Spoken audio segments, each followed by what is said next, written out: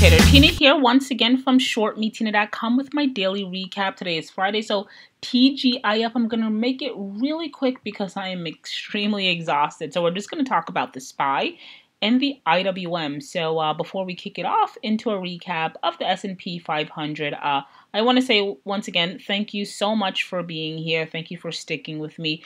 Do me a solid uh, in the comment section. Just drop me a comment. Hi, hello, your thoughts on the analysis or any previous analysis that I've done, and uh, thumbs up. So we're gonna kick it off again with a recap of the S&P 500 SPY daily chart. It goes back to around uh, 2017, but I really just want to focus in on price action here. Market collapsed about uh, 30%. We bottomed, question mark or quote unquote, uh, bottom in March um, 23rd of 2020, a low of 218.26. And since then, we've pr practically um, ascended or we've risen about uh, I didn't do the math, but I think it's about 30% at this point. Uh, closed at 286.64. Essentially, I said uh, if we can get above that 280 to 285 level, which is representative, in my opinion, of resistance, I can see us 100% sort of like getting to that 300 mark, perhaps a little bit above there.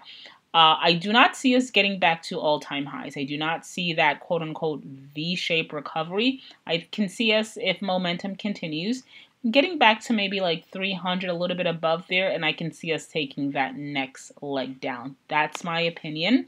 Will that happen? That's obviously a huge question. Pardon, that's a huge question mark. Time will tell. Let's just really get into the uh, IWM, and then we're going to cap it there.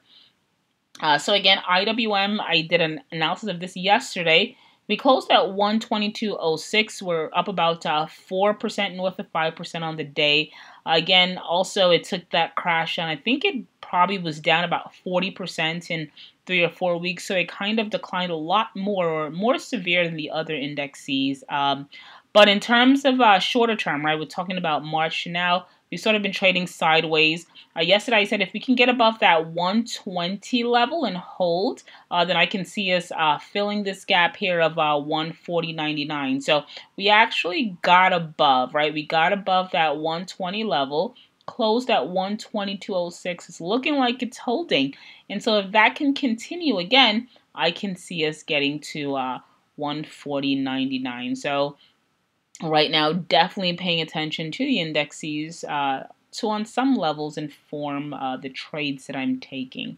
I know it's kind of short, but I am super exhausted and uh, that's all I got in me today. All right, so uh, we're gonna cap it there. Hopefully, I'll come firing uh, with more on Monday. And um, again, if you want to see my thoughts, they're up there uh, on our website, and it's up there on our YouTube channel every single day. Twitter, I post it uh, all the time. So Normally I do about a handful. Today I just got two views. If you want to know my thoughts on more, just uh, peruse my website, Twitter, or uh, YouTube, and you'll get a sense or a feel of how I do things. All right. So we're gonna cap it there. Tina here once again from shortmetina.com.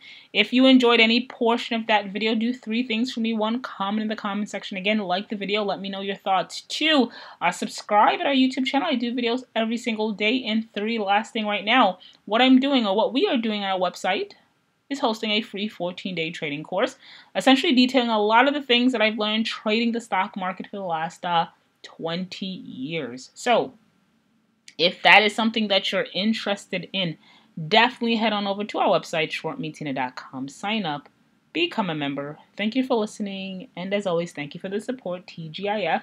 Stay safe, enjoy your weekend, and I'll talk to you back here on Monday.